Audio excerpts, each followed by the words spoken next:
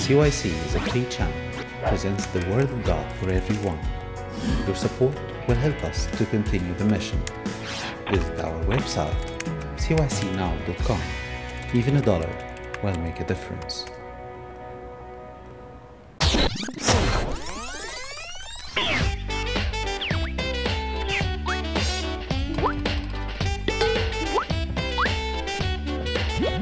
So today we are with a very special visitor that comes almost all the time, so I can't call him a new visitor.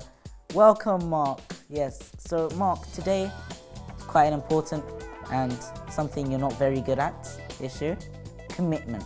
Do you know what that means? Yes, I do. Yes, I do. Organized. Okay, can you give me an example of you committing yourself? Um, going on to school on time. Going to school on time.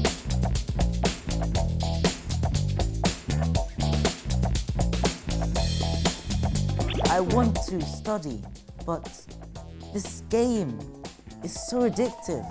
I mean, Messi and Ronaldo are playing. What better?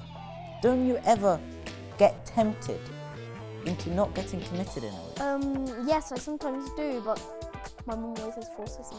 So, tell me ways how you've committed yourself. I always go on school on time. School on time? Yes, any other Only that's examples? not my fault, mum. Um, I always, um, I always tidy stuff. They're always, my stuff are always tidy. What, another one? That's quite hard to believe. Do you go to Sunday school Oh every yes, Sunday? I'm always, I'm always there. Always on I'm time. there. Have you never ever wanted to go to Starbucks or buy like a Big Always Mac wanted. There's no Big Mac during Sunday school and you're like, oh, only 10 minutes late? I mean, so bad about being 10 minutes late. Have you never felt like doing that? I've always wanted to go to McDonald's, but mum won't let me. Mum won't let me. So are you telling me that commitment is actually something that you are forced to do? No, commitment is what I want to do. So you're not committing yourself to going to Sunday school. You're forced to go to Sunday. School. No, I am committing. Because when you go to Sunday school, you're learning about something new. So Mark, tell me, what happens if you do not commit yourself to do something? Um, well, you miss half of the stuff, don't you? You miss the most important bit. Like, if you go to school 10 minutes late, you don't know what to do, do you? The teacher's gonna tell you, "Oh, you're late. I'm not gonna, I'm not gonna repeat this lesson. You just have to do the work." What about committing yourself to other things, like committing yourself to playing a sport? Well, committing yourself to playing a sport is really something different because it's actually quite easy to do because you're playing a sport. It's um committing yourself to do a sport is really easy because um it's like you're playing a game in your spare time. This is a weird thing. Commitment does not mean you do something in your spare time, does it? Because if you only do something in your spare time, you're not committed to it. You're just doing it for Mate, mate, fun. You're in your spare It's time. like it's like when you play football, Mark. in I mean, spare time, you never don't commit yourself to Michael, football. in your spare time, you don't organize your bed. You're like, look at my muscles, they're epic. Yeah, yeah.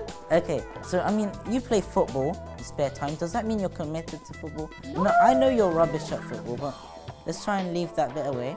I'm good at goalie. Good at goalies. Yeah, that's what you said the last 20 times when I scored a goal against penalties. And okay, so good penalty. can you name any people in this world who've been committed to something and got it? I've been committed to go to KFC on time. No, p- other people in this world. Oh yeah, my friend really wanted to to go on WH Smith on time to buy, to because they were they were selling um these sandwiches half price, half price, and it, it was in the reduced area. Um, he wanted to get there on time so he could buy them first.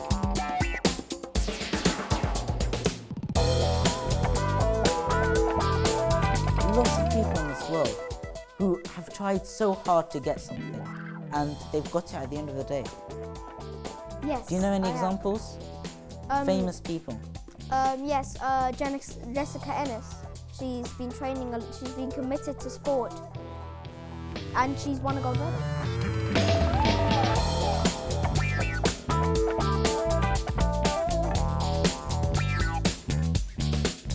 Could you tell me any temptations that Jessica Ennis could have got? You know, oh my god, I'm Je- so hungry, I want to eat a big. Jessica Ennis always needs to go on a. she always needs to stay fit. So you could see when she's watching TV for a bit of entertainment, she sees those Alan uh, she sees those um, adverts that um, that tempts her to buy really fatty stuff. Like um, if you want to buy chicken and you really like chicken, like um, you know Richard, he really likes chicken wings. Yeah, Richard Hammond, he really likes chicken, but but if you if Richard Hammond was Jessica Ennis, I mean, how would he tempt himself to not eat any fatty stuff and to just stay on a diet with fruits and water? So, tell me, what do you have to do to commit yourself? Um, you always have to stay organised. Always don't get tempted.